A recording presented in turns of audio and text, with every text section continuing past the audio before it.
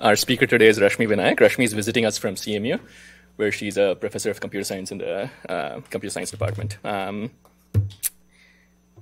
Rashmi's done a lot of interesting work at the intersection of you know, network systems and coding theory. Um, I find a lot of her ideas to be super creative and uh, sort of, uh, uh you know, uh, when you read that work or hear about it, uh, at least for me, it puts a smile on my face. So, Rashmi, we're super excited to have you here. She's not a stranger to MSR. as a student at Berkeley, you know, she, she also interned here. Twice. Twice. yeah. She was a recipient of the PhD fellowship. Um, um, she'll be talking to us about sort of some work that is uh, not just related to storage systems, but also sort of uh, inference workloads. Um, and this is work, I guess, done with two of my other favorite colla- you know, collaborators, Jack, who's here this summer, who's a Rashmi student, and Shivaram, who used to be with us, uh, with us here uh, last year. So welcome, Rashmi. Thanks for the kind introduction, Amar. Uh, hi, everyone. It's always good to be back here at MSR. Uh, before going into the talk, I'll just quickly give you all a flavor of the kind of research that my group at CMU does. So I called my group as TheSys, standing for theory and systems, because we do research both in theory and in systems, with a tight synergistic loop between the two. So we formulate theoretical problems based on real world system challenges and take the insights from the theoretically optimal solutions that we arrive at and take it back into the systems world to build real world systems that significantly advance the state of the art. So on the on the theory side, we mainly work on problems in information and coding theory, specifically on what are called erasure codes or also known as error correcting codes. We also use tools from probability and statistics. On the system side, uh, our group is mainly interested in reliability and predictable performance in large scale systems. We are looking at various kinds of systems and applications, including storage systems, machine learning systems, content distribution networks, and live streaming. Today's talk is about redundancy in large scale systems. Large scale systems are often prone to non ideal operating conditions, such as failures, stragglers, load imbalance, and so on. And redundancy is a common approach to impart resilience against such situations in large scale systems. So, for example, in a data processing system, it could be duplicating queries, or in a storage system, it is duplicating data. While redundancy helps in imparting resilience, it comes with a cost, right? So redundancy would often require additional hardware resources, which requires increased cost in buying those equipment, increased power to operate them, increased cooling and more operations, and overall significantly additional cost for the system. So it's important to introduce this redundancy in a resource efficient manner. So in this talk, I'll have two parts. In the first, uh, in the first part, I'll talk about resource efficient redundancy in data processing systems, specifically in prediction serving systems, basically systems that take already trained machine learning models and serve inference for queries.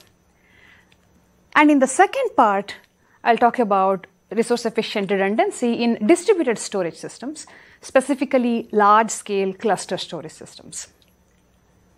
In both of these parts, I'll draw tools from coding theory, machine learning, or data analysis, and also blend them with system insights.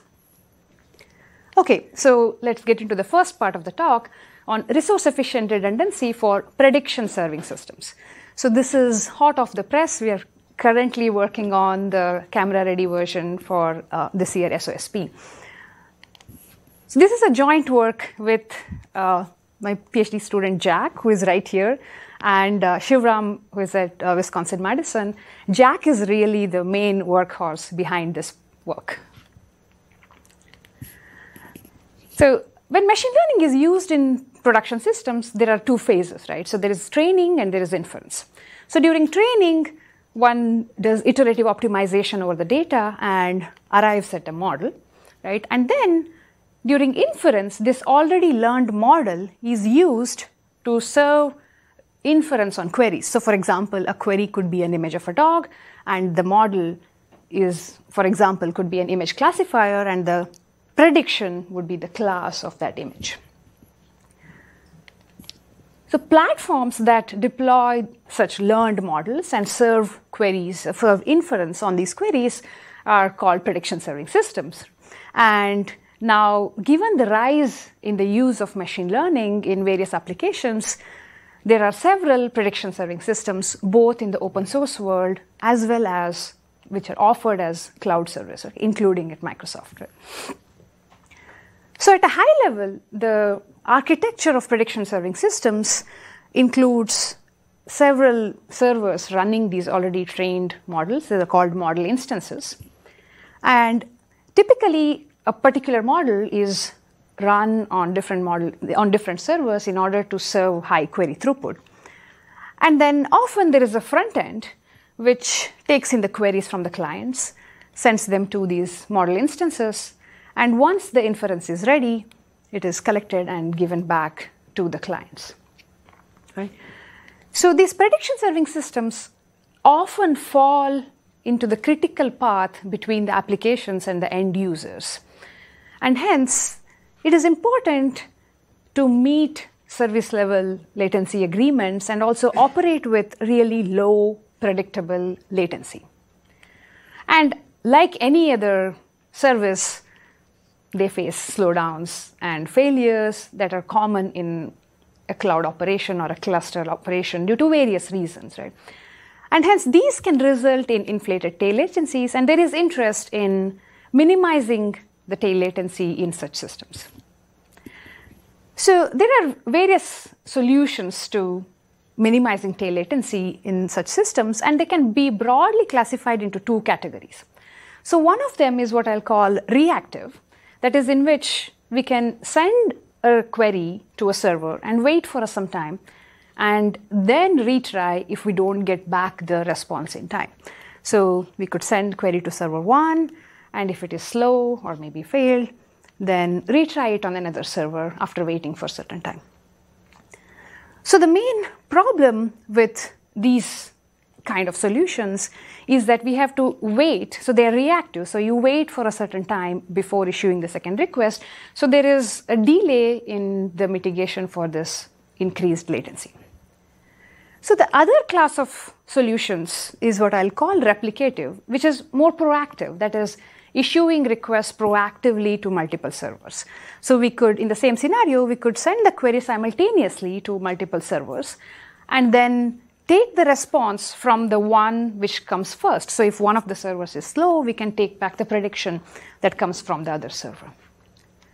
So the problem with this class of solutions is that they require more resources. So in this example, you need at least 2x more resources. Right? So if we look at this cartoon plot where I have recovery delay on the y-axis and resource overhead on the x-axis, so lower is better on the y-axis and left or lower value is better on the x-axis. So the reactive approaches are low on resource overhead because you issue a redundant query only when needed, but the recovery delay is higher, right? And for replicative solutions, resource overhead is higher because they are proactive, but the recovery delay is small. So in this part of the talk, uh, I'm interested in seeing how we can enable in between points. And we are going to do this via a tool called erasure coded computation. So I'll now next quickly give a primer on what erasure coding is and what erasure coded computation is, and then see how to use it in prediction serving systems and what are the challenges and what are our solutions to address them. So a very quick primer on erasure coding. So you might have already heard about this and know about this. This will, in, in that case, it will help in you know setting the terminology and we come onto the same page. So it's a resource efficient way of adding redundancy. And I'll use storage as an example to illustrate this concept. So let's say we have two disks, disk 1 and disk 2, storing D1 and D2. And let's say our goal is to add resilience against a single disk failure. So a simple approach for doing this is replication. That is, you have two copies of this data. So if one of the disk fails, there is another copy, so we are all good, right? However, here, 50% of the total resources are being consumed for redundancy. Now, the same goal can be achieved using erasure coding in the following manner. So, instead of having four disks in total, now we'll have only three disks. So, we have data D1 and D2, and we create what is called a parity, which is just an XOR of D1 and D2. Right? And these are stored in these three disks. So, now if a single disk fails, that data can be recovered by just subtracting or if it's an XOR, just XORing the parity and the other data that is there. So we've achieved the same fault tolerance, the single disk fault tolerance, with only 33% of the total resources being used for redundancy. Right? So in general, it is well known that erasure codes achieve desired level of re resilience with much lower resource overhead. So in general, you can have k data units and that gets encoded to create R parity units, right? In the example we had, we had two data units and one parity. So here, in general, you can have k and r. And when decoding, you can take any k out of the k plus r units, and then you can decode to get back the original k data units. And also, I'd like to note one general characteristics of most of the codes employed in practice is are what are called linear codes. Specifically, what it means is that the parity units that are formed are linear combinations or linear functions of the data units. And this will come up later in the talk. Okay, so this was about erasure coding. Now, what is erasure coded computation? So now consider this scenario where we have multiple copies of a function f that are being computed on different nodes. And now let x1 and x2 be the inputs and f of x1 and f of x2 are the corresponding function outputs. Now suppose we want to add resilience now against slow or failed servers, not the disks in, like in the previous example, but now the servers being slow. And now we want to add resilience to get back the function outputs and not the data. Okay, so in, how can we do this using tools from erasure coding? So in this scenario, what one would do is you create encoding of the queries, the inputs x1 and x2, and create a parity input, p. And there is a redundant computation unit which operates on this parity. And if one of the original function units are unavailable, you could decode the output of that function by using the output of the available ones and the redundant computation. So let me just contrast between storage and this to highlight the differences. So in, in storage, we wanted to add resilience against disk failures and we want to recover the data, right? Whereas in when using erasure coding for computation, we want to add resilience against the failure of servers and we want to recover the function outputs, not the original data. Right? And in order to add resilience when we want to recover the data, as you recall, we encoded the data and stored the parity. And then if one of the disks is unavailable or failed, we recover it by doing uh, this decoding or reconstruction on the data itself. Now, when using erasure coding for computation, on the other hand, we are encoding the inputs and processing it through a redundant computation unit. And when the output, one of the outputs is unavailable, the decoding is performed on the function outputs, not on the original data. Encoding is done on the data, but decoding is done on the function outputs, uh, in contrast to in data storage.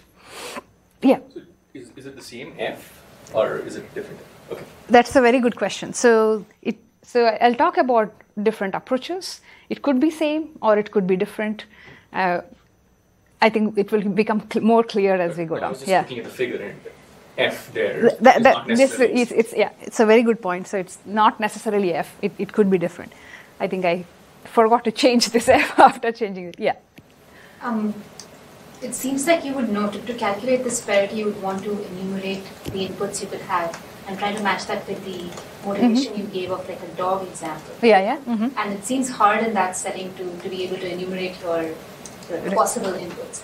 Very good question. Um, so this is where this, some of the challenges that i'll talk about when using this specifically in the domain of you know prediction serving systems will come. Yeah. So there are in some cases where you don't have to enumerate which is where it's easier and when in which case it's you know like it will work with existing codes and in in other scenarios as you mentioned where this enumeration would not be it, it's not apparent. Yeah. So there are some kind of structures where enumeration is not needed. That's where the linearity will come in. So i'll go into that. Yeah.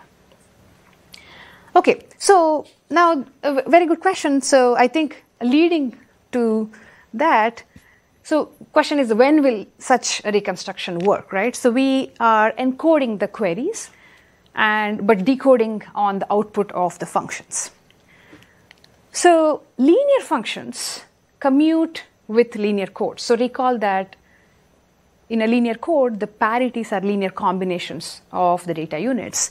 So if you have a linear function f, then the encoding and the decoding will commute with the linear operations. So let's just take a quick example. So let's say f of x is 2x, which is a linear function, and we want to operate uh, this f on different servers. Let's say x1 and x2 are the two inputs, and we create a parity which is just sum of x1 and x2. So now we send it through these servers, and let's say one of them is slow. So now we can recover f of x2 by just subtracting the function outputs on the parity input and f of x1. So this all works out, and we get back the right output. This is because f of x is linear and our encoding is also linear, right? So this actually is a scenario where you don't have to enumerate the inputs because of the linearity, okay? Okay, however, the key challenge is actually in handling nonlinear functions.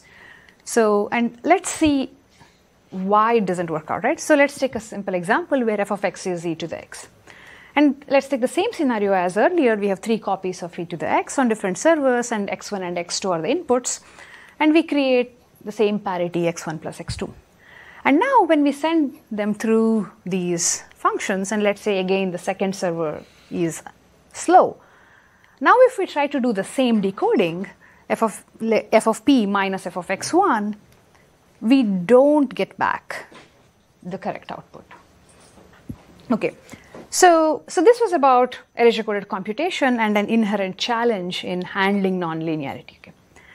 So there have been a lot of related work in the domain of coded computation. In fact, coded computation for tolerating hardware fault uh, failures has been looked at a few decades ago.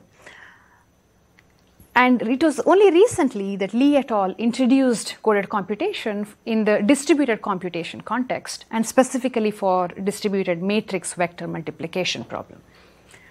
And since then, there has been a large body of work on coded computation, and this is an uh, burgeoning and a very exciting field in the domain of coded computation or in the, in the domain of coded, coding theory right now.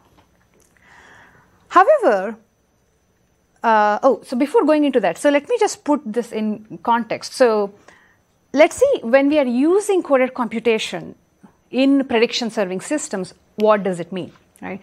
So now in a prediction serving system, the function f is going to be a machine learning model and many of the state of the art machine learning models are now neural networks, right? So we are going to have, let's say, a neural network as a function.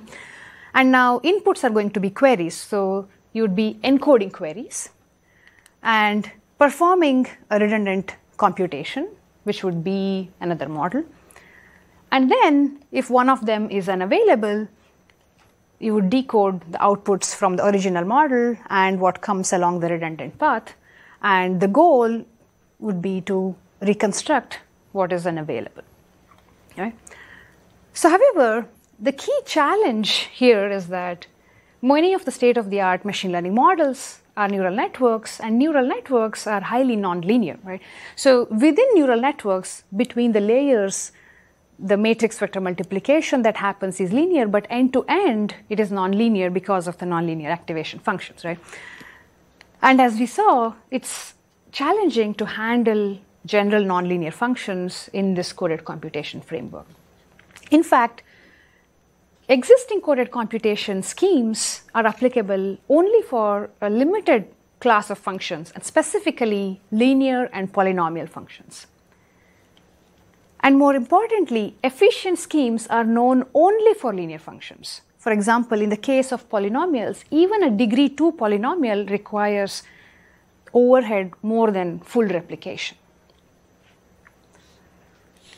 So, our solution to tackle this problem is to use machine learning along with coding. So, basically, we propose using a learning based approach in designing the coded computation framework.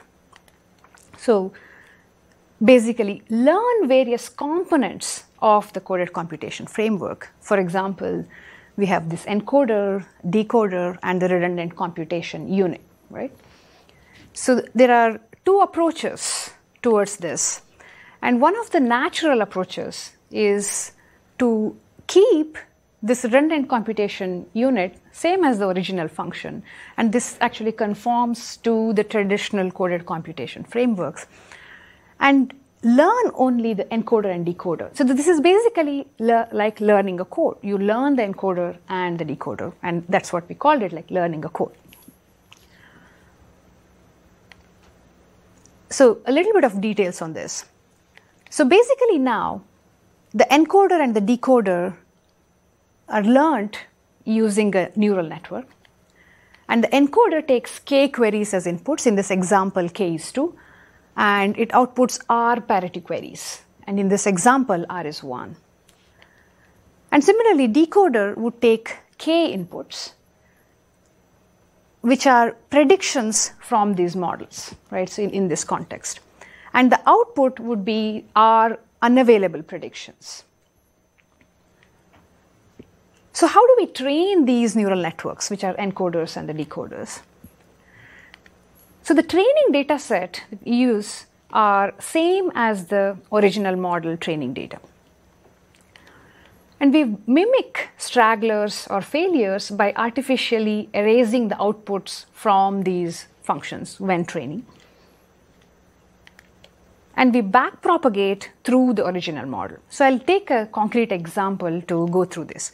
So let's take F as an image classifier neural network. And let's choose k equal to 2 and r equal to 1. That is, we are encoding two queries and creating single parity query. So these two are the original models. And let's say this is the redundant model. So recall that in this approach, redundant model is same as the original model. So this is the blue neural network.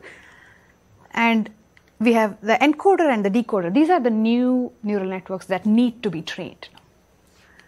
So let's take x1 and x2. These are the two training images just picked at random from the training data set. And we pass it through the original models first and it is also sent through the encoder because the encoder acts on these queries, right? And the output of the encoder is passed through this redundant model. And during training, we will erase one of the outputs of the two original models, and the decoder acts on the remaining two and it outputs a vector which represents the final layer vector. So if in this example, this, if this is an image classification model, right? So the this vector will have values such that you know the maximum value corresponds to the predicted class of the image. Just a clarification. Yeah. So when the encoder is taking two inputs, Yeah. Is it some function of x1 and x2 that gets fed in as one input to the encoder, or it's actually taking two inputs? It, it is taking two inputs so it's a in this case. Yeah, so, so since k is 2, so the encoder takes two images as input. And so, for example, right? So, So, pixel values of those would be basically right, right, Back right. So, back, right. So, for example, if it was uh, pre-designed code, like let's say handcrafted code, for example, let's say just single parity x1 plus x2, then it would be taking x1 and x2 as inputs. So it's the same way as. Yeah. Okay, so this is the forward pass, right? And now, since this is training, we know what f of x2 should have been, right?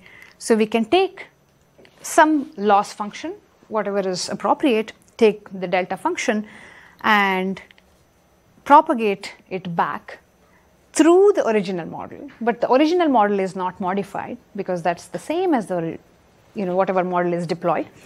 Only the encoder and the decoder weights are updated during this backpropagation class. Yeah. So the, the output of the redundant model is like gibberish too, like without decoding, right? Yes. So uh, is that also included in the, the Fs? The- Uh, so what do you mean by included in for, there? for example, F of ah ah. So ah okay, I see. So you you you, you diff only the output on the monkey image. Yes, output. So output after decoding, right? Okay. okay. So, so after decoding in this scenario, when the output of the second Yes. model is unavailable, you expect f of x2. Yes. Yeah. So each of the models on the left are spitting out classes, and the one on the right is spitting out, spitting out I guess, some class as well because it's of the same type. Right. Ah. yeah. So, it, so all of them are giving f of the. So we are taking the final layer. The type of the output is still class. Each of those is the outputting a class. Yeah. So, so, so think of it as as a vector. Mm-hmm. When you do an arg max on this, so the arg max output will be a class. Oh. You're doing the feature vector that. Yes, exactly. So. it's- yeah. Any, I mean, any reason why you're doing that as opposed to just the class prediction? I mean, Right. So, so in traditionally the output of each of the models is just. yeah true so we are not taking just the class output because that loses a lot of information so we're taking the vector the last layer vector as the input yeah Backpropagate through that. Right. right okay yeah so basically using the same training data set as the original model and mimicking stragglers or failures by artificially erasing the outputs from the models and back propagating through the original model. So, this training method is applicable for any numerically differentiable function f. So, and this is a broad class of functions because all the machine learning models, for example, that are trained on the like, platforms are numerically differentiable. Right? So, this learning a code approach is really the first coded computation approach that enabled doing coded computation on this broad class of nonlinear functions. And it was also the first work that proposed and enabled use of coded computation for prediction serving systems. So previously, the works on coded computation that looked at machine learning, the focus was more on training. However, it has its downsides when we look at it from a systems perspective.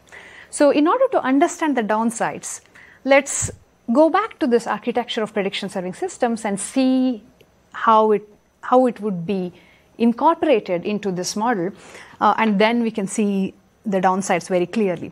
So, so recall that in a prediction serving system, typically you have a front end and you have model instances being run on different servers. So, a natural place where the encoder and the decoder of this coded computation approach would fit in is at the front end, where as the queries come in, they are dispatched to the model instances and they are also sent to the encoder, and the encoder output is dispatched to another model instance. And as the predictions arrive, they are sent back to the clients, and if any one of them are, is slow or unavailable, then you could use the output from the parity query and then decode and then send it back. Right. So the main, the, yeah, There's a constraint on how fast the decoder has to be, right? It has to be much faster than Yeah. the regular model. Yes, yeah. So that's yeah. I'll come to that. So that absolutely, yeah. So so one of the downsides here is is that you know, we need a bulkier front end because now the neural network encoding and decoding has to happen at the front end, right? And also, as you just mentioned, this has reduced opportunity for improving tail latency because the redundant path, that is, which goes through the encoder, the original model, and the decoder, now takes a lot more time because you're doing neural network encoding and neural network decoding, which takes a lot of time. So, and these, these downsides pushed us to explore further on this learning based coded computation and we arrived at another approach, which we call learning parity models, which is basically so we keep the encoder and the decoder very simple. So it could be, for example, a generic encoder and a decoder, such as just doing subtraction, uh, addition or subtraction, or a task specific but still simple encoder and decoder. For example, for an image classification, it could be just downsizing and concatenation. I'll go into details of this later. But keeping the encoder and the decoder very simple, so very low time, right? Uh, but learning a new model for the redundant computation. So not keeping the redundant computation same as the original model. So, and this new model is what we call as a parity model. So let's see now how the training of a parity model would, would look like. And this is very similar to what I described earlier in learning a code. So we use again the same training data set as the original model and mimic stragglers and failures by you know, just deleting the function outputs when we are training. Let's again take a very concrete example as seen earlier. Image classifier function and k equal to 2 r equal to 1 that is encoding two queries creating a single parity query and for this example I'll assume a generic encoder and decoder that is just addition as an encoder and subtraction as the decoder. Okay, so now, yeah. So is the input to the encoder the original images or some feature map? The oh, it, it's the same. It's like the original images. Original. Yeah. So uh, yeah, it will so be pixel values. Yes, so it, it will be clear. Yeah. So, so these are the two original neural networks, image classifiers, and I have two because k equal to 2. Right? And now this is the parity model. So now recall now that unlike the original, the, the first approach, now this is a new neural network that needs to be trained. So this is the red neural network now. Yeah. Is the structure of that model the same as, uh, or do you have to learn is it an architecture search in that space? Very good question.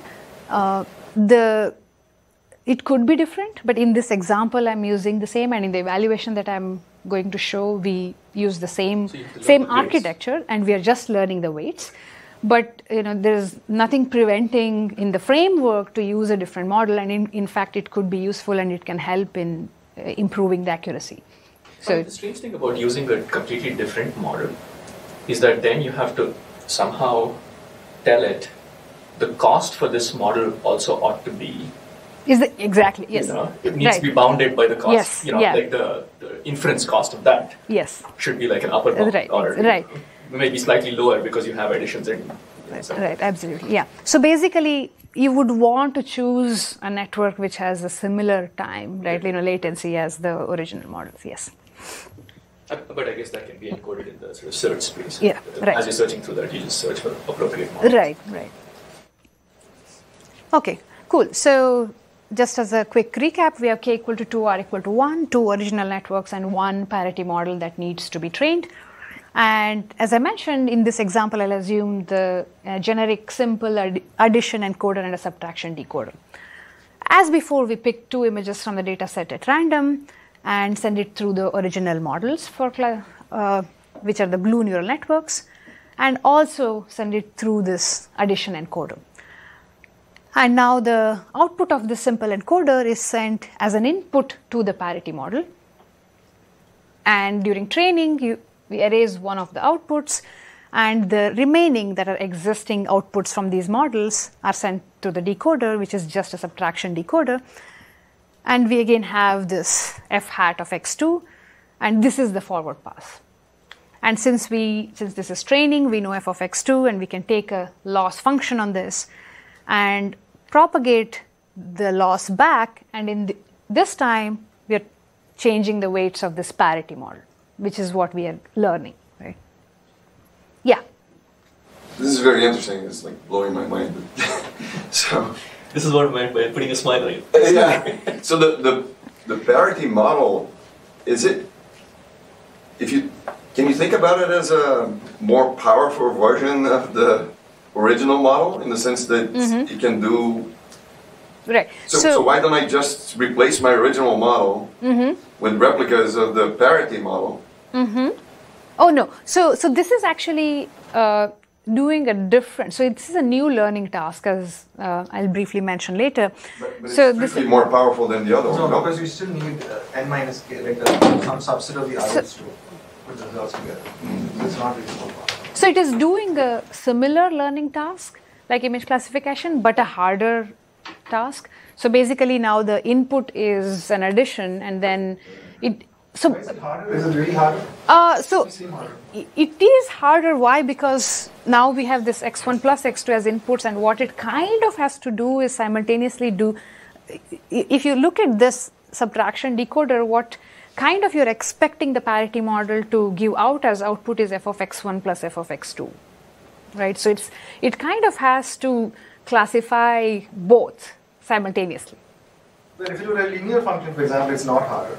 Yes, exactly. Yeah, it is not. Yeah. But if it's not linear, it's not clear what you mean by harder. I mean, you still need the other results to reconstruct the final results. So, um, I'm, I'm not so if you so you mind whether it can so you can think of it this way right so there is so when this parity model is trying to get its outputs when it is looking let's say at x1 the other inputs so in this example the x2 is like noise right so if so there is the signal to noise ratio phenomena that is happening so as you add more and more it becomes harder and harder But that brings up the question of whether the, this model was over provisioned in the first place. Mm-hmm. If you can learn a harder function using the same architecture, Mm-hmm.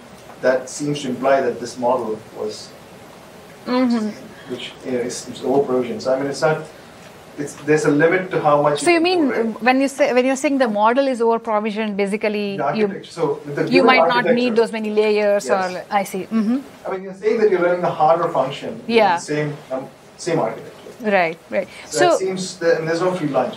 I mean, that yeah that that's a that's a very good that's a very good point and that is why i think having uh, neural architecture search or a better architecture for parity model model can can help in getting better accuracies I mean, uh, that seems to imply the parity model will be strictly more expensive than the other ones. If you're saying Yes. that it's actually computing harder, Right, right. the optimal work. yes yes Okay. that's and by the yeah. way, many of these functions are over provisioned, so I have no problem with the setup. But that's just I'm Yeah. just kind of clarifying the. sure yeah yeah no, that's a very good point yes yeah yeah Do you think there's a bound on the k you can XOR here? Because at some point you'd end up with noise. Yes, yeah, e- exactly. So as I was mentioning, as we add more and more, it, it gets harder, and um, we'll see that you know, like I'll go into the accuracy evaluation, and there's more details in the paper.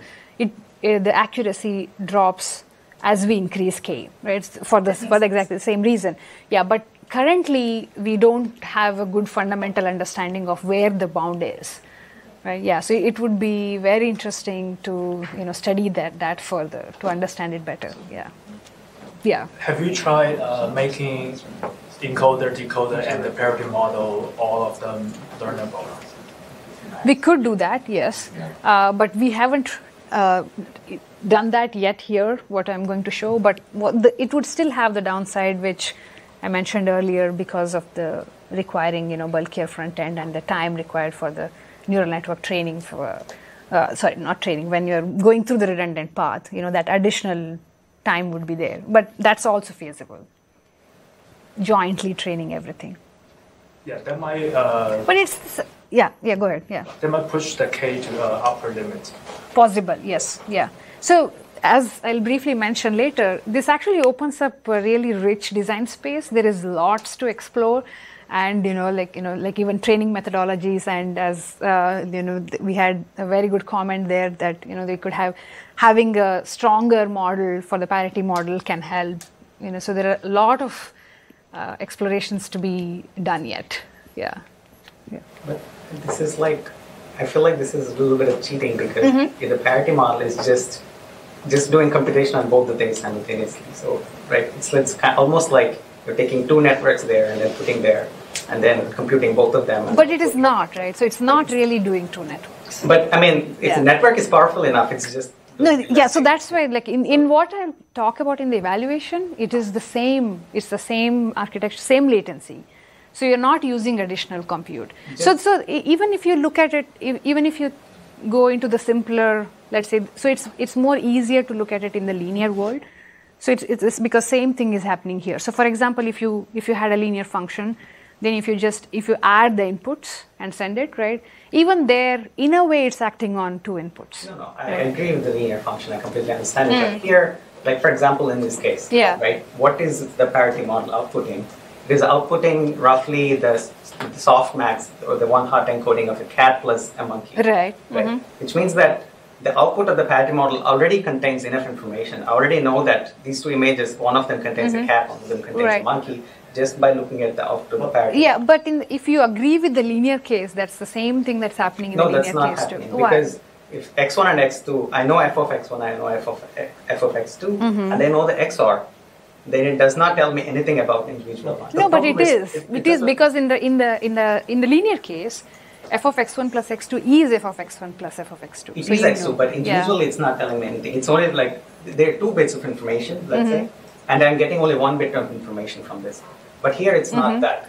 Here uh, it's not I'm getting. So let's say this is f of x1 is one bit of information, f of x2 is one bit Yeah. of information, but this parity model is al- almost outputting two bits of information. No, it is not. It is. It is still Yes, you getting the same length of telling you information. and No, it it's, tells not, you it's not telling you that. It's only telling me something that after the decoding. Decoding, yeah. Right. It's not telling me anything after. So the length The of the decoder is vector. just a simple subtraction. no, it's the same. No. You know, so, the if, same so if you think in parallel for the linear case, right, the same thing is happening here. The length of the vector, the information that you're talking about is a function of the length of the vector, right? So if the length of the vector is the same, you cannot give out more information. The, the output that you're thinking about in the linear case, the same is happening here.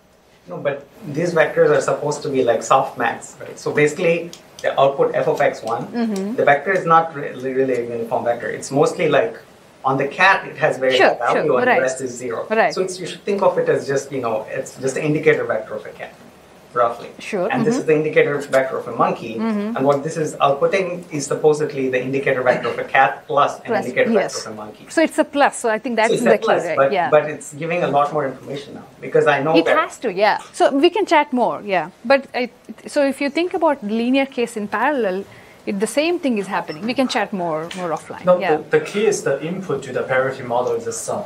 It doesn't have access to x1 or x2. It only has. I agree with that. So, I mean, uh, what I'm saying is that you don't need, I mean, if the model is so powerful, you can just combine all the inputs and then train it to output the indicator vector of all things. So, I already know Sure. what things So- are there. I just need to figure out what is what. Yeah, but here the, all the yeah we can chat offline, but all the inputs are not going in into the parity model. But we can chat more. Yeah. Okay. So so this the forward pass and the backward pass, and this is how you train the parity model. And we have implemented this approach, the second approach, which is the parity models approach, which I will denote as PAR M for brevity, on top of Clipper, uh, which is an open source prediction serving system. And I know Dan is here now. Yeah. yeah. Okay. Uh, the, encoder and the decoder, uh, uh, we have implemented it in the Clipper's front end. And the original and the parity models are all PyTorch models in Docker containers. Okay, so first in the evaluation, I'll go into the evaluation of accuracy first and then evaluation of latency. So, in terms of uh, evaluation of accuracy, uh, as we were discussing earlier, this is a new learning task, and so we evaluated it on a variety of inference tasks and data sets, including image classification, speech recognition, and object localization, and a variety of popular neural network models, and for the encoder and the decoder, uh, I'll show first mainly the most of the results with the generic addition subtraction encoder and the decoder, which enables us to show the applicability for a variety of tasks like you know on image, speech, and object localization. And also, I'll briefly mention about this inference task specific encoder and decoder. That is for image classification. Uh, for example, you could downsize and concatenate as an encoder. So, so in this second one, you don't change the model. Is that right? Um, you Oh, no no no. So the pa- the uh, we do like the parity model is is still trained. okay. Yeah, uh, but on both the cases, the architecture is in in the evaluations is the same. Okay, so for looking at accuracy, so look at the overall accuracy as a function of accuracy in the degraded mode and in the normal mode, right? So in the normal mode, I'll call the accuracy as A subscript A, that is when it is available, when everything is available, and in the degraded mode when some of the original models may be unavailable. So FU is denotes the fraction of the instances unavailable, and A subscript D is the degraded mode accuracy. And this part now represents the accuracy in the normal mode, that is when all the original models are available. So for the metrics, basically we would want to look at available versus degraded mode accuracy, right? So what is the accuracy on the task when the model is, when original model is unavailable? And also we'll look at overall accuracy. Okay, so in this plot, I'll be showing accuracy on the y-axis in percentage and different data sets or tasks on the x-axis. So higher is better. Uh, so in, in all these, in the initial set of evaluations, uh, I'll use k equal to 2 r equal to 1. That is 33% of the total resources are being used for redundant computation. So here are these yellow bars are accuracy when everything is available. This is basically original model accuracy because the original models are all available. Now, in the degraded mode, that is when one of the original models is not available, these blue bars are the accuracies that are obtained by when using the output from the parity model and then decoding. So as we can see for all these tasks, we can get pretty good accuracy within around 7% of the original model being available. What is FU? What is FU? Uh, so here this is just showing when one of the original model is unavailable. So yeah, so k equal to 2, r equal to 1. And let's say yellow bar is just what is available. And then if one of them is not available, what is the accuracy on the decoded output? So FU is FU one. is one. For? Yeah, yeah, right. Yeah, yeah. So we'll, uh, yeah, so I'll use the FU notation a little bit later. So it, it won't be used in this. Yeah. But is FU one in this case? Is that the right way to think about it? That this is FU equals one case? Yeah, yeah. So basically, I'm sh- specifically showing the degraded mode. Yeah. Okay. Uh, significant. The accuracy ones. Um, true. If you so in, in different ways, in the sense that if you look at it as just the accuracy on the task, it is significant, right? So even like a small percentage loss is lost. Because people fight over these. Right, Just exactly. getting that next. Yeah, right. Point two. Right, right, exactly. Yeah, but if you look at it as this is the output when the original model is not available, mm-hmm. right? So in, in that respect, this is quite promising because even the original model is unavailable, you're able to get very close to what is available. Like for example, right, if we look at CIFAR 100, there are these 100 classes. And as, as a rough measure to see how hard is the task is you have 100 classes and if we if you don't have the original model available a random guess would be 1% accurate right? So if we just randomly choose one of the uh, classes. So here you're able to get to this original accuracy very close to that. So you guys it's, try ImageNet? sorry? Did you guys try ImageNet? not yet yeah. So that's a very good question. So i'll go at not for this addition and subtraction but when i'll i don't have the numbers on the slide uh, but with the image classification specific encoder and, and decoder uh, so this addition and subtraction would, is not doing that well on ImageNet. Uh, but on ImageNet, there is also this another uh, uh, issue of you know the training, how we are doing training. So we are randomly choosing images when when training, and there the training data set is too huge. To so I think we need better approaches for training this. I'll talk about in in future work. So a better way of doing training. It's too huge, you're saying because you have to choose things like pairs of images. Yeah, exactly. Yeah. So if you if you think about it, right, you know, this this goes into combinatorial space. So yeah, yeah. Yeah, but we were pretty happy to see that even with CIFAR 100, it's doing pretty well. Yeah.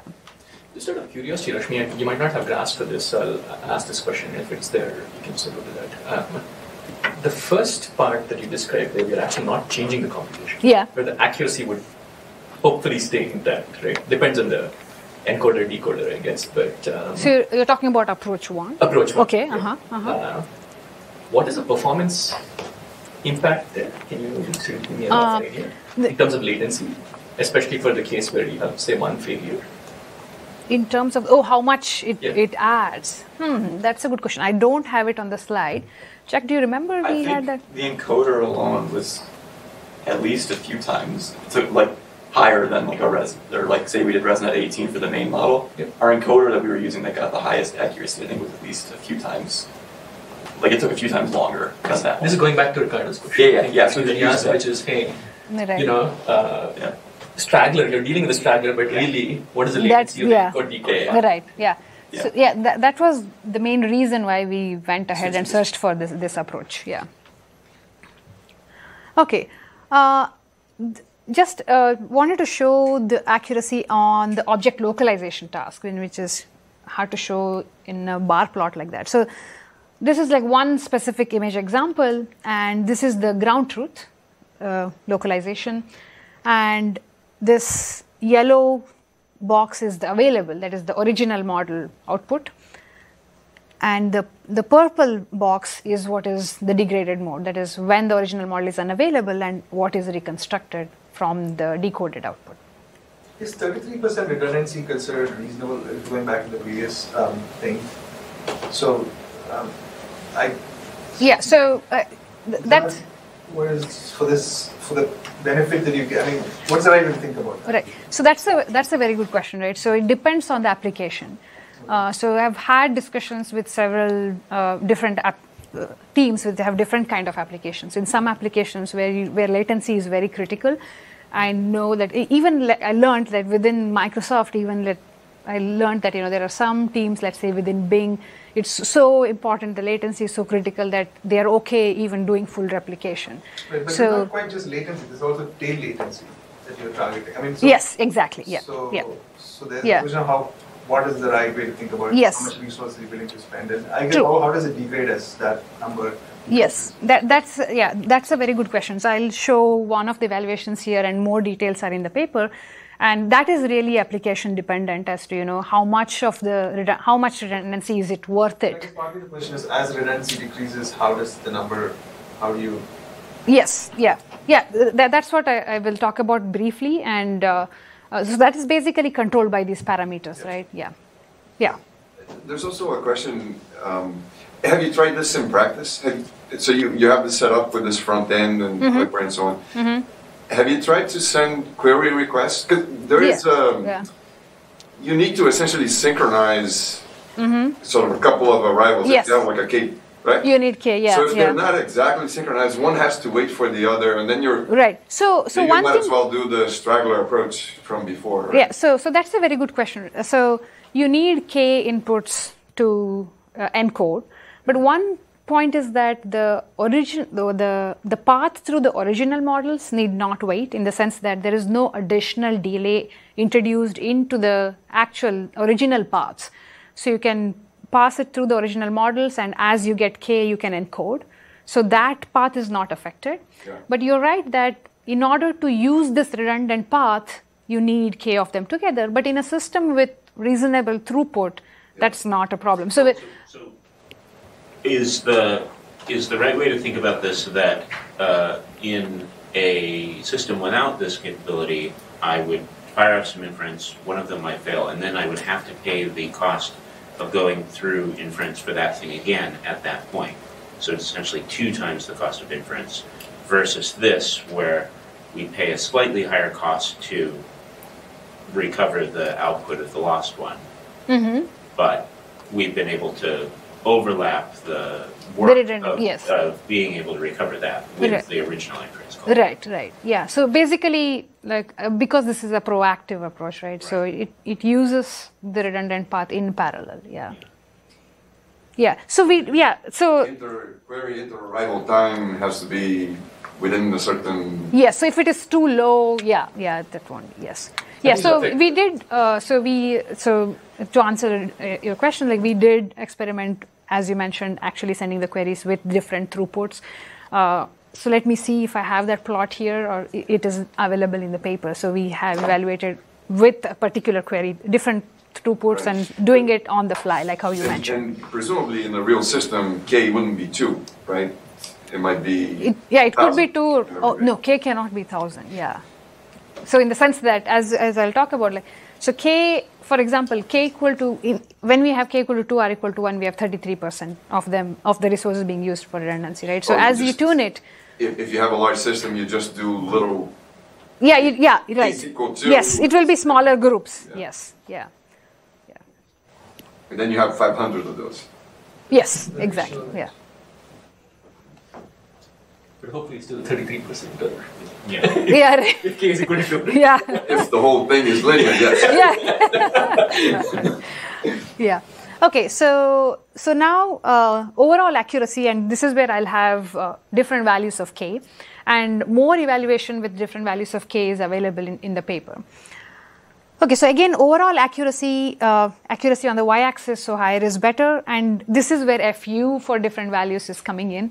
So on the x-axis, we have different fractions being unavailable, and uh, the yellow line is the available accuracy because this fu doesn't affect available. So that's assuming everything is available.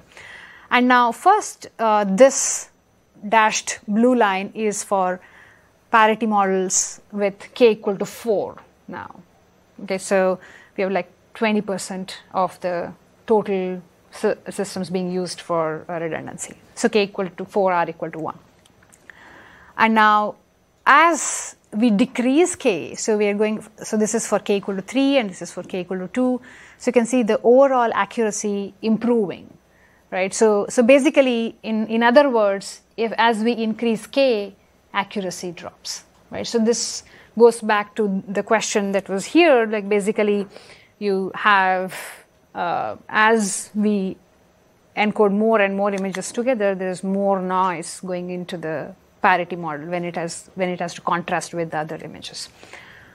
Okay, so now very briefly, of, that iteration seems linear. Also. I mean, is it? I mean, it's just surprising. Is that Uh, that sort of? which Yes.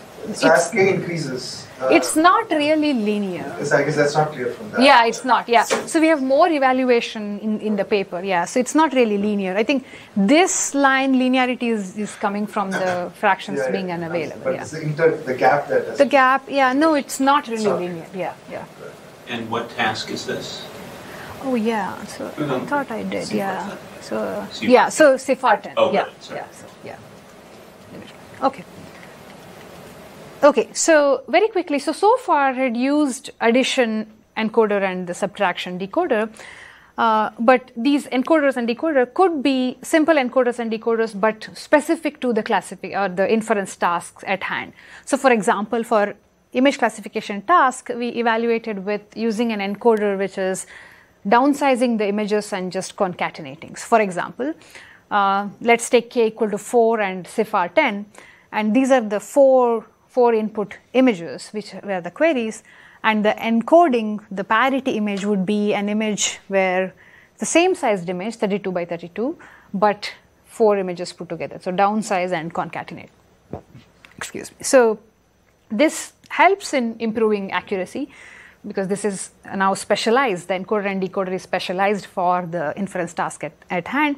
Uh, more details are available in the paper. Uh, there is also uh, concurrent work which built on our approach of learning based coded computation, but specializing for image classification, which also considered a similar concatenation based encoder. Okay, so now I'll quickly uh, discuss evaluation of the latency. So we evaluated on both CPU and GPU clusters. Uh, and as a baseline comparison, we will use a system with equal resources. So that is giving the same amount of redundancy. That is, the, the number of instances is the same in both, but in the baseline, those resources are used to serve the, the queries, original query. So which means that basically that the load on that system is much lower. So basically latency would be better and with varying query rates, this is the input uh, throughput, and uh, varying background traffic ranging from very lightweight inference traffic all the way to a different varying number of shuffles going on. So I'll quickly go through this, and uh, more details are available in the paper, which is also available on arXiv right now.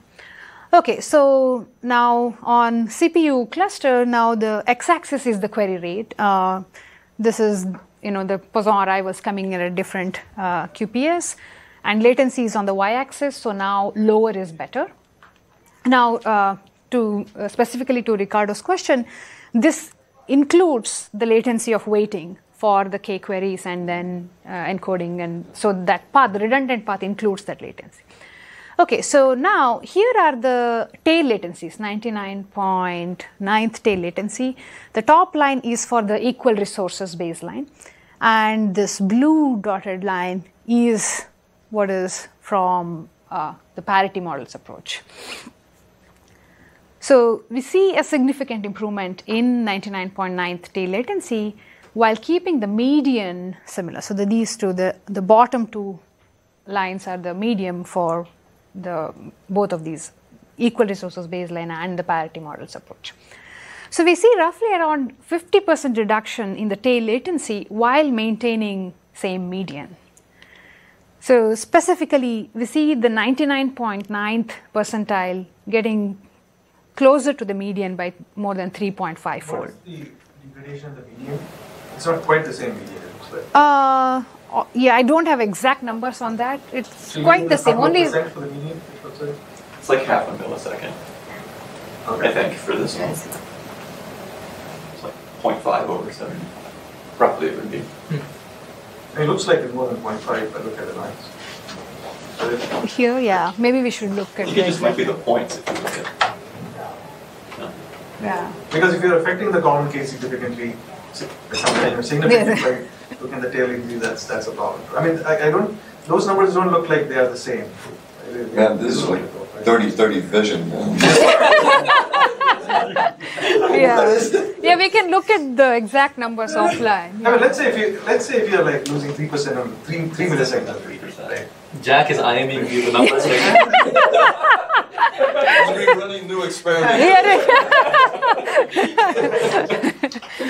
yeah. Okay. Yeah. So basically, this helps in bringing pre- more predictable latency. So basically, bringing the la- tail latency down uh, while keeping the median latency similar, or even a little bit increasing the median latency. It's, it's basically making the entire end-to-end latency more predictable. How often are machines expected to fail in this world? So Yeah, I think that uh, more like you know people who have access to production servers would know better. Yeah. You're meeting Mathai later. Yeah, yeah, yeah. Sorry. I'm I'm writing down this question. He's running another experiment. yeah. Okay, so we're cool. actually. Uh, Oh, I yeah. This is the second half of your talk. No, not second half. No, this is not. Yeah, there is another. Yeah, but with, that's a shorter. Yeah, that's Oh, shorter. a whole other thing. Yeah, that's a shorter talk. I'm So start canceling so yeah, so this is uh, we we see similar improvements on on GPU cluster as well, and we again see improvements even when we have a very light uh, multi-tenancy background, which is another prediction, another clipper running with very low query throughput. Okay, so in summary for part one, I've talked about introducing resiliency to machine learning inference, that is prediction serving systems using coded computation. And you know, as you recall, the key challenge here is handling the non-linearity of the neural networks. And our solution to this is using a learning-based approach for coded computation, that is designing coded computation frameworks using machine learning. So this is a rich design space, lots to explore on the encoders, decoder, and parity models. Uh, this is applicable for a variety of inference tasks, including classification, speech recognition, image localization. and we have implemented it on Clipper and you know, showed the evaluation. We have seen significantly better degraded mode accuracy with no loss in the normal mode, and also it helps in making the latency more predictable.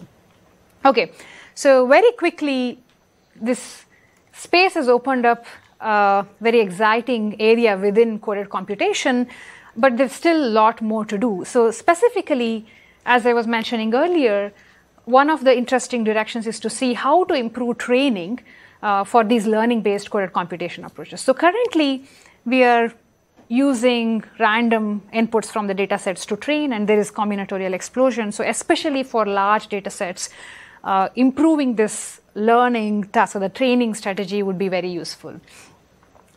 And uh, again, as we discussed earlier, there's rich design space, so one could think about designing better generic encoders and decoders that could work across different inference tasks, or you know also design better task-specific encoders and decoders for popular tasks, or you know the better choices for the parity models using neural architecture search, uh, as Amar was mentioning earlier.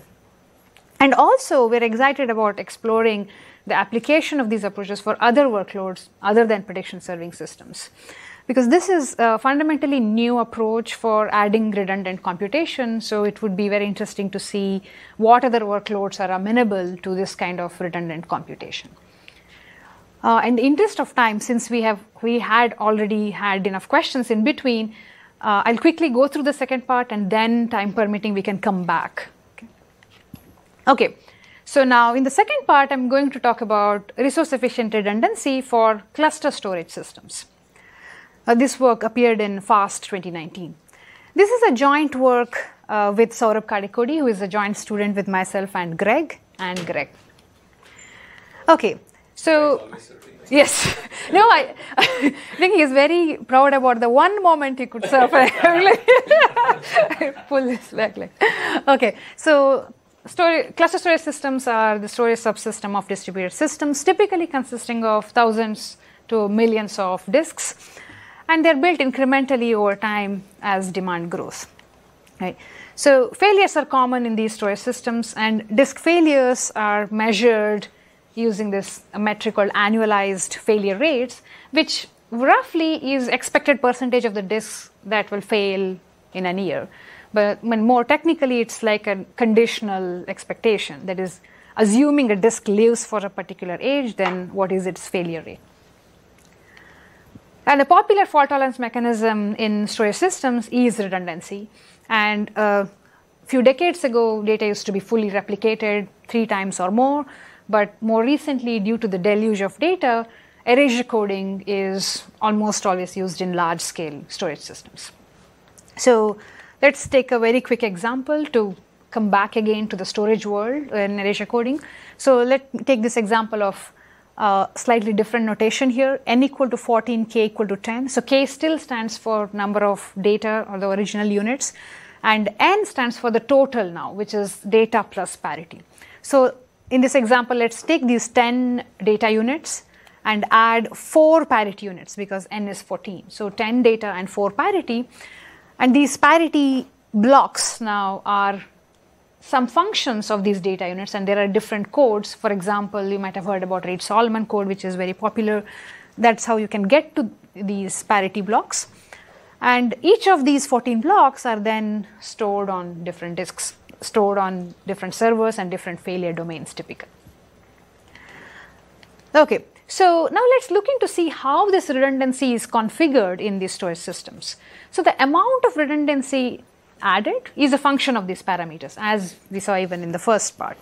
So it's a function of these n and k. For example, if n is 14 and k is 10, the redundancy is 1.4x. Right? So these parameters or this redundancy is configured by choosing these parameters to meet constraints on durability and availability. For instance, a popular metric for durability is mean time to data loss.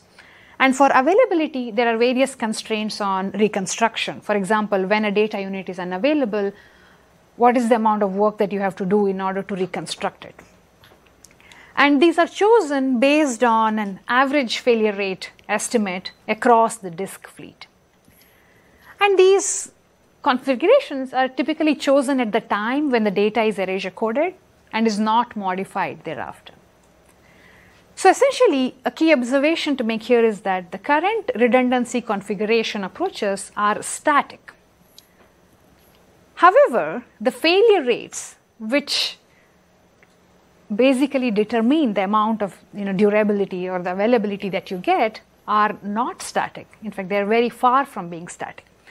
So we performed a study on failure data made available by an online backup service called Backblaze and observed that failure rates are in fact highly varying.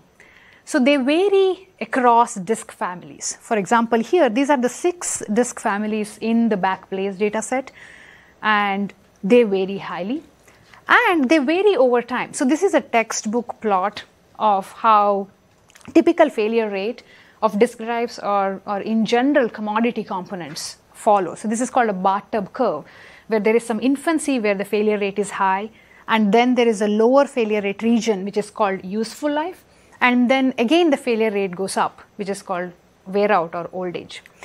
So, so this is a textbook curve but these this is the real curve from the Backblaze dataset. So this is an, a cumulative AFR curve for one of the disk families uh, in Backblaze dataset. And we can roughly see there being, you know, infancy, useful life, and wear out stages. And these are the failure rate curves over time for all the six different disk families in the Backblaze dataset. So roughly we can see in the top three there is a bathtub characteristic and in the bottom three they are still too young. They have not yet reached the wear out stage yet. Okay, so based on these observations, we're proposing a dynamic approach for redundancy configuration in cluster storage systems. And the key idea is to exploit reliability heterogeneity by tailoring the redundancy levels to the observed failure rates of different disk groups and over time. So let me give an illustration of what we mean by that. So let's take a disk group and, and let's say this is the timeline. Now it is deployed and we start monitoring it. So there is some infancy period and then it goes through useful life and at some stage the wear out starts and then the failure rate starts increasing and it is decommissioned at some time. So in order to make a case for dynamic redundancy configuration, we are taking the most conservative approach of using the default fault tolerance scheme in the infancy and wear out stage. But in the useful life region where the failure rate is lower, we use a disk group specific fault tolerance scheme.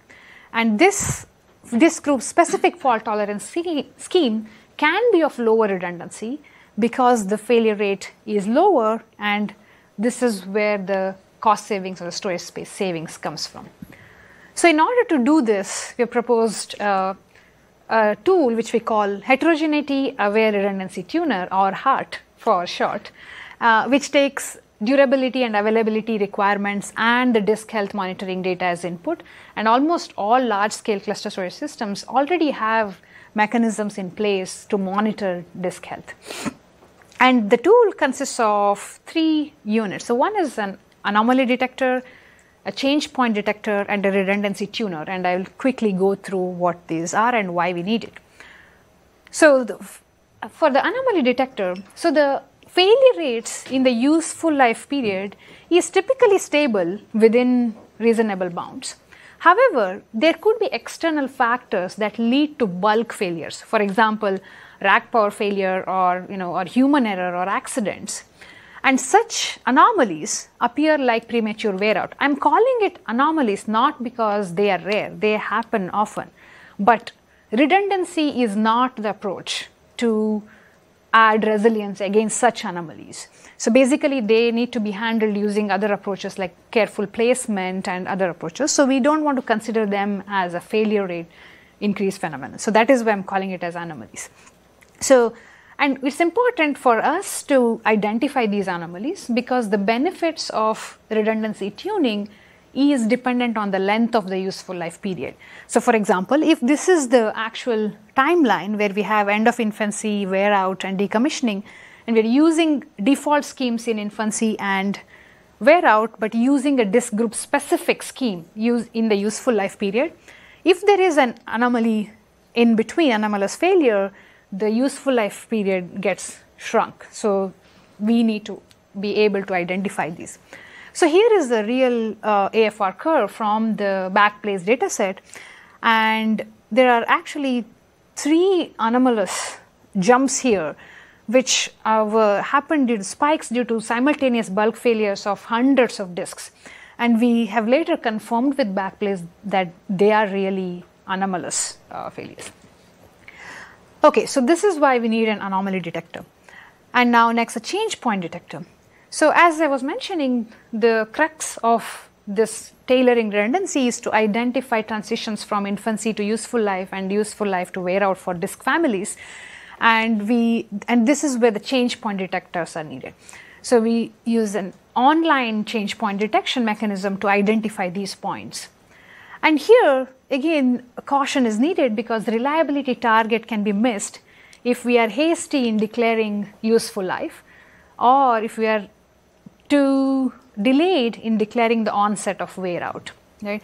So there is a trade-off between the benefits here and, and safety.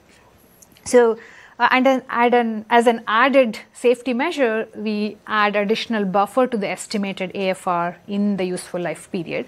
And even with an added buffer, we can get significant savings, as I'll show later. Okay, and the last piece, which is the redundancy tuner, basically chooses the most space efficient erasure code that can be chosen based on the requirement that is still meeting the durability and availability requirements for the estimated useful life AFR. So we've evaluated this on the Backblaze dataset, which consists of hundreds of thousands of disks belonging to their production cluster, which is these disks actually constitute more than 90% of their entire cluster storage system. So it has six drive make models. Mostly, this is the 100,000 or more disks. There are others which are much smaller, so we don't consider them in the evaluation. And it has more than five years of failure data. So in the in the plots that I'm going to show, uh, we'll use the following methodology. So in, in HART, we have used so far like off the shelf anomaly detectors and the change point detectors. They work fine. And the reliability target is chosen based on the highest AFR scheme. So basically, we need some target for reliability when choosing the uh, disk group specific fault tolerance scheme. So in the plot that I'm going to show, we will choose the one family with the highest AFR and say that's the target because that's how the system, it has to meet that. So, right, so that's the target. And the disk group specific fault tolerance schemes are chosen to meet the following constraints. So, one is you want to be able to tolerate as many failures as the default scheme, and there's an upper bound on the stripe width k. This is for availability, that is, when something is unavailable, you don't want to touch too wide. Okay. So for this specific data set, S4 is a family of disks is the highest AFR, so we will use that as the target, which has 4% AFR in the useful life period. And this, so this is going to be the default scheme. So the default scheme always meets the uh, MTTDL target for this S4 family of disks. And the upper bound I'll use in the plots is twice twice the value of k that is allowed for default. Anyway, this is not fundamental. Any constraints that the system administrator has can be put in. And we evaluated it on multiple default options. So these two are the ones that I'll specifically show here, and these are the two published numbers from Google and Facebook. Yeah. So when you when you go from one redundancy scheme to another, yeah, then you have to move a lot of data. Uh, that's a very good question, and I will come to that. Yeah. So you don't have to move, you'll have to change the erasure code that you're employing. So there is like conversion that needs to happen. So there is overhead. So, so that is an expensive operation, right? Yes, that's and that's a very good. whenever an anomaly happens, you, you have to do it again for, for that group. Uh, so what do you mean by anomaly? Because when an anomaly happens, Yeah. you, you said, well, I'm going to assume that the, the wear out has started. No, look, we, we don't want to assume. That. So that, that is where we will detect. So basically, the anomaly detector processes the failure data and it removes out such anomalies. And it basically, in, in determining the useful life when it ends oh. and what's the AFR, those are not considered. That that's not the yes. beginning of the yes, wear out. out, yeah, right. I think that's why she's calling it an anomaly. She doesn't want to do the. Yeah. Yeah. It's only the transition points. Right, right. Okay, so this is a one. This is one of the disk families within the Backblaze dataset, and the black, the red curve is the raw AFR curve, and the black curve is after curations. There are some small anomalous things here. This is a, a huge uh, group of disks for the, this specific family, uh, and the gray line, the gray region is the identified useful life. So this is the infant mortality end and this is the old age. So this is identified by the change point detector. And the dotted line is the AFR value, which is the AFR at the beginning of the useful life period plus the buffer that we have added. And for wear out, we are being very conservative in this in these plots. As soon as the determined AFR is above the threshold, we declare wear out. Okay, so very quickly, uh, for the default scheme, n equal to 9, k equal to 6, which is 6 data, 3 parities, which is a small storage overhead already, which is only 1.5x. And infancy uses 9.6, wear out uses 9.6, and the disk group specific scheme is used only in the useful life. And in this plot, y axis is the disk space savings, and the x-axis is different disk groups. So if you recall, S4 was the baseline. That is, we are not changing the scheme for S4. That's the highest failure rate group that uses the default scheme, and that's the target MTTDL. And for H4A, which is another disk group, we have about 16% savings in the disk space when we use a, a specific scheme for that group for the determined AFR. Uh, and the, the, scheme used is k equal to 12 and is equal to 15 for that. That's what the redundancy tuner chooses. And for another disk group, we have about 13% savings. And we have similarly, if we look at the 1410 default scheme, which is even smaller storage overhead of only 1.4x, we have about 14% and 11% uh, space savings. So overall, we have about 11% to 16% storage space savings, even in a space optimized that is already using erasure code storage systems. And these numbers, while look modest, they translate to significant cost savings in large scale systems. So, in summary, we've proposed a dynamic redundancy configuration uh, mechanism for cluster storage systems for exploiting this heterogeneity in reliability of disks in large scale systems by tailoring the redundancy schemes to observed failure rates and changing them over time. And on evaluation of the on the Backblaze data set, we saw that it provides significant space savings. And this basically established the potential for dynamic redundancy configuration. And uh, we have seen significant interest from the industry, and NetApp and Google have actually shared their failure data with us, which we are working on right now. So, this is just the beginning, and there is again a lot of interesting open problems to uh, study here. So, one of the directions is the statistical study of these AFR curves estimation and the bounds. Uh, currently, the bounds that we have uh, require a large number of disks to get the confidence on, on the AFR curves. But uh, they, they are loose, I think. So we, if we do a more systematic statistical study, we can get the bounds much tighter, which means that we can start using tailoring for even for smaller disk uh, number of disks.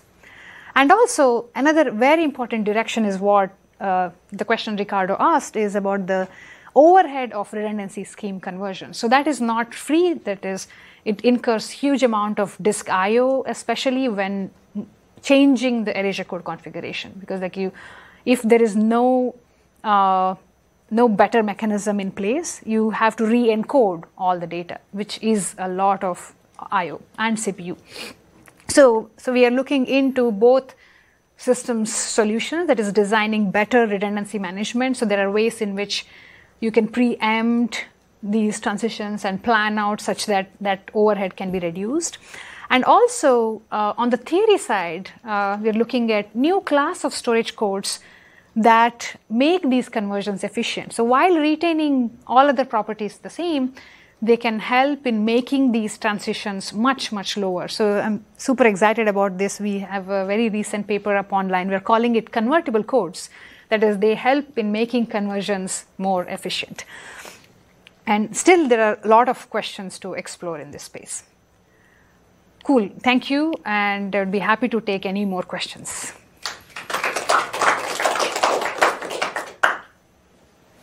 There were quite a few questions. Yeah, yeah. Thought, um, and it's noon, so we let people get. Sure, yeah, You're yeah. So we to a lot can of people, yeah, so- offline. Yeah, yeah. Be happy to chat more. Yeah. Great, thank you. Yeah. Thank you all.